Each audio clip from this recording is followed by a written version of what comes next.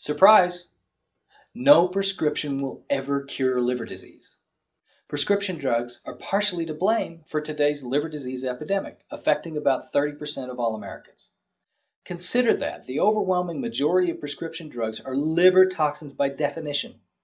Dosages are set by the amount of drug required to overwhelm liver clearance. The uncleared circulating fraction is considered therapeutic. In other words, drugs work by overwhelming the liver. Next, consider that prescription drugs are dosed at up to 50% of their lethal dosage. This means that an individual taking four prescriptions is on a constant diet of twice as much as it takes to kill them. No wonder that individuals on multiple long-term prescriptions tend to develop liver disease and experience ongoing health deterioration.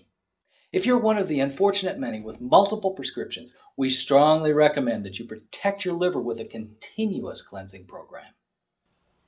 By the time your doctor's medical tests detect liver dysfunction, your liver overload is a big problem, causing an often long list of seemingly unrelated health problems. You feel poor, sluggish, tired, usually because your entire body is overloaded with toxic sludge. You feel sick. Your immune system is so overwhelmed with the cleanup driven by toxic damage that it can't protect your body from disease like it used to. The door is open for frequent or serious disease.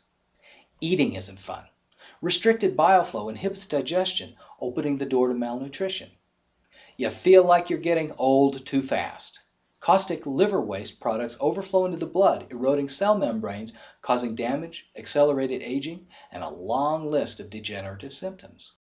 The liver is the only human organ capable of regeneration, able to regrow from only 25% of healthy tissue.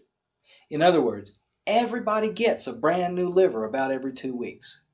Your new liver quality depends on nutrition, toxic stress, and pathogens, each which compromise the health of your next generation of liver cells. In concept, improving liver function is as simple as the notion of clean. Improve your next liver by growing it in a nice clean incubator with fresh building materials instead of a bath of toxic sludge liver soup. And here's how.